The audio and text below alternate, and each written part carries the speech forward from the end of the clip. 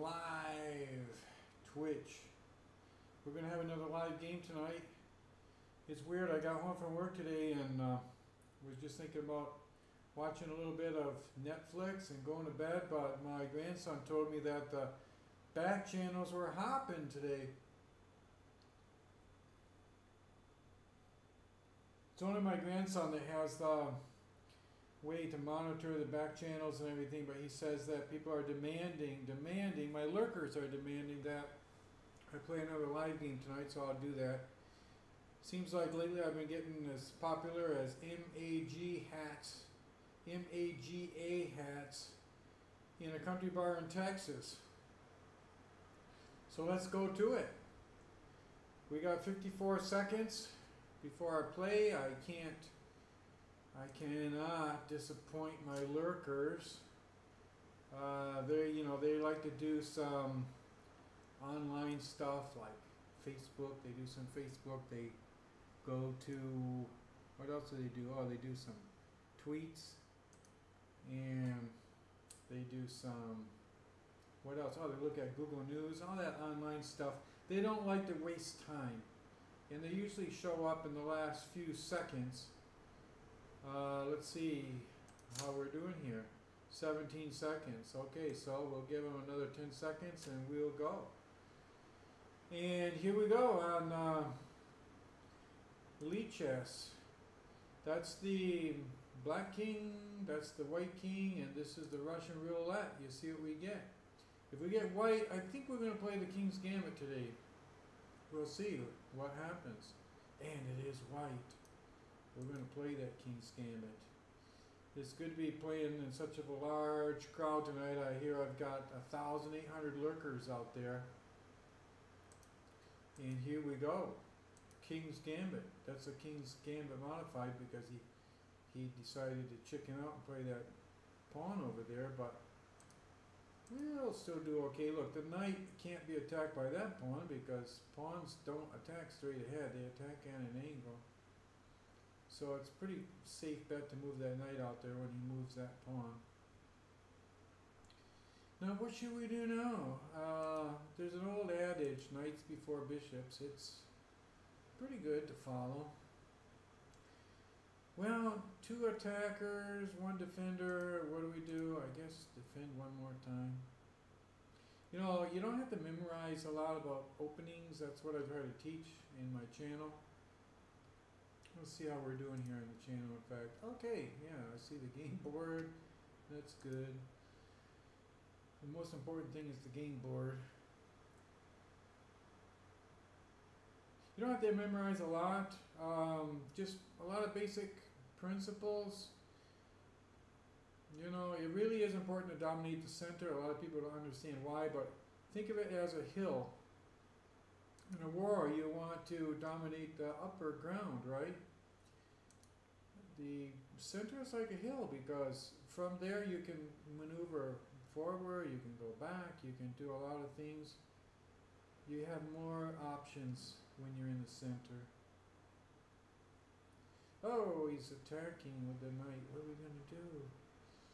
Mm. You know, when they attack, just let them take. Everything's protected there.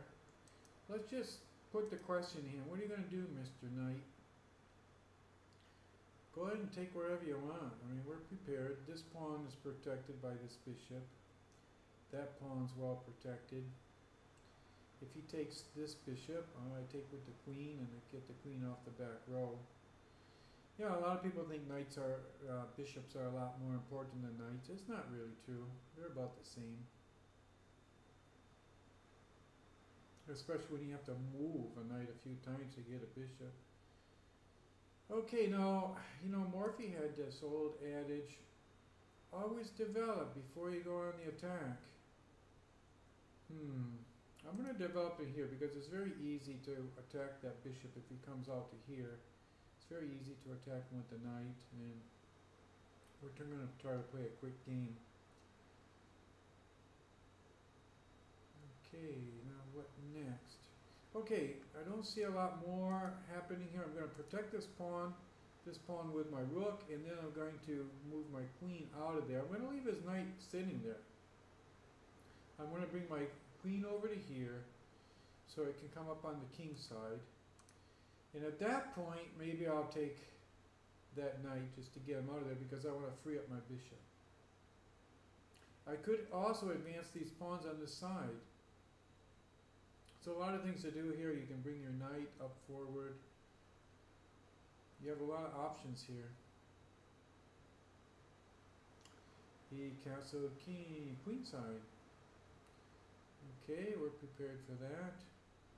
I think we'll just burst through these pawns. I think it looks like if we advance this pawn up here, we're gonna have to break those up. That shouldn't hurt us. Let's just go with our plan. And when you advance a pawn and there's a thing on both sides, you're gonna open the file. I mean, you can open the file if you want to. If there's a thing on, if there's a pawn on one side, you can advance it. But if they're on both sides, he either has to take you and open a file, or if he advances that pawn, you know, th- things are gonna get broken up.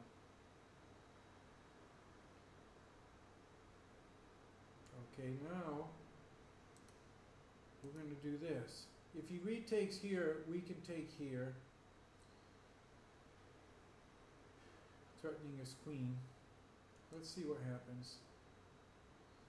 If we lose this, we lose it. Uh,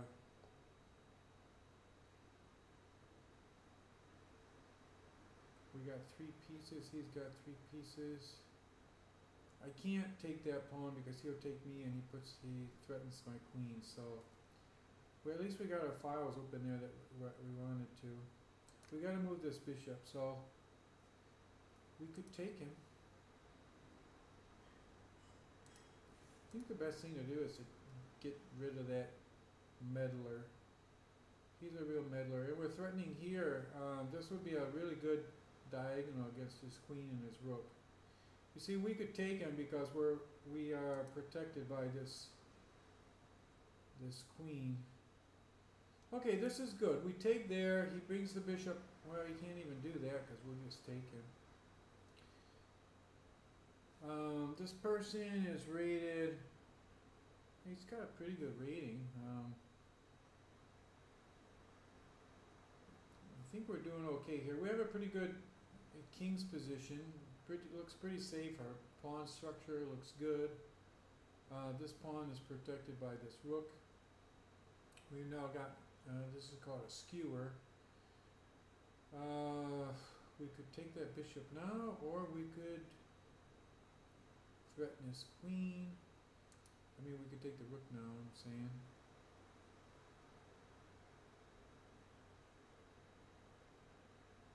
If we take the rook Okay, we'll go ahead and do that. He was threatening to take the knight and putting us in check.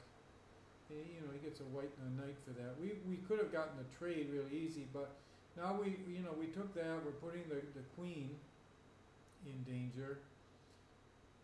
Um, he can maybe attack us, but we could get the same thing later. Well, that wasn't uh, so good because our knight was protecting that square. I think he's going all out now. I mean, he's just going to see if he can. Maybe he's trying to flabbergast us. I think it's better to take the rook first. This is the old flabbergaster approach, I guess. But we, we're we're good on time too. Uh, two thousand, uh, two thousand, two hundred and nine seconds. No, it's two minutes and nine seconds. Forty-seven, forty-five, counting down. Okay, we got our knight pinned. Uh, we could lose that knight, except if we do this, we protect him. Protecting the knight, attacking the rook at the same time. Our knight is protected. Our knight is still in danger. Why don't we move our king out of the way? Because our knight's protected. Okay, we can put him in check here. If you can get a check, why not? Okay, we'll put him in check here because the king's trying to get up into this safe square here. And I guess that's checkmate. Okay, that was a pretty good game. Uh, not bad. You know, I'm trying to be instructive here. Um, let's do the post-mortem and just see, you know, what went wrong, what went right, and see if we can find some sort of principles or something that we can apply. This channel is for people rated between, say, 1,200, 1,400 to try to get your rating up a little bit. I'm not Hikaru, you can tell that not only by my name but from my rating. Um, but, you know, Hikaru can help you later maybe. I'm trying to get people to get up to, I think I can get you up to around a thousand eight hundred or so, and after that, you can move on to some instructor who's maybe a little bit higher rated than me.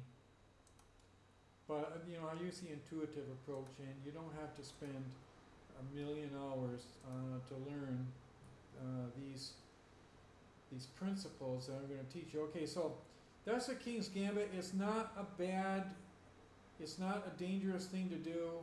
They actually don't even call it the King's Gambit when he does that, but that's that's basically what I call the King's Gambit anyway.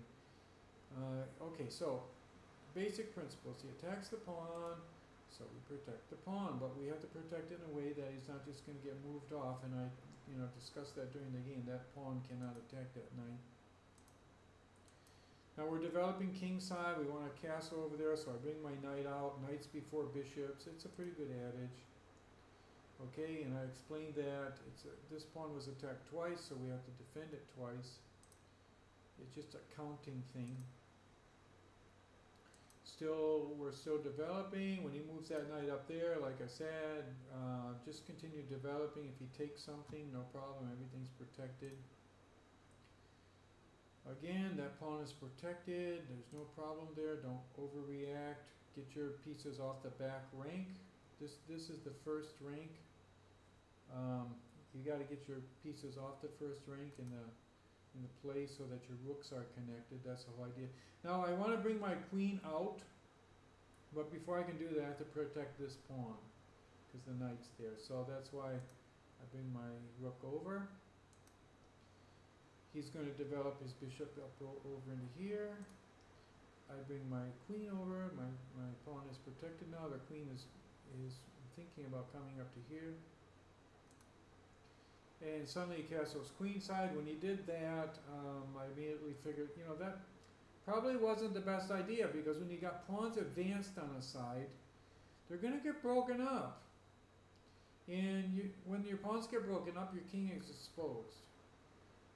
And so that probably was not the best idea. So this was the preliminary move. I've got a solid position. Nothing he can really do to protect us, uh, to attack us. We have really strong pawn chain here. This one is protected by the bishop. We have, we have a lot of resources here. So we just take one move as a preparatory and then we're going to push that pawn up. He moves that pawn up, we follow through with our plan. Okay, now I've got a little bit, you know, mixing it up instead of retaking there because I figured he would just advance there. I figure, well, let's let's see what we can do here. He's going to win that. Um, but you know, it's it it, it was no big deal.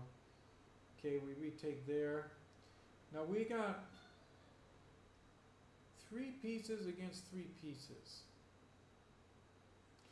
Um, if you want to see where he lost his piece, I'll show you where that was. Um, it was right here. Look, I'll show you. I advanced that pawn. He retakes there. I took a knight for free and you know like giving up a knight but I already got one for free and then I take that pawn why because the bishop's protected by the queen and also threatening to come here and skewer that queen and rook you got to be looking for things like that he didn't see it skewer the queen and rook the queen moves out of the way now instead of taking the rook immediately I got my knight out of danger because if I took the knight, the rook, he was just going to take my knight, put me in check, and then take the rook. Uh, wouldn't have been the greatest thing for me. I would have got one rook and he would have gotten two pieces. So I put him in check. Um, that's not check, but it's like kind of like check. I mean, attacking his queen. And that he didn't see. That's a total blunder. He put me in check, but the knight is protecting that square.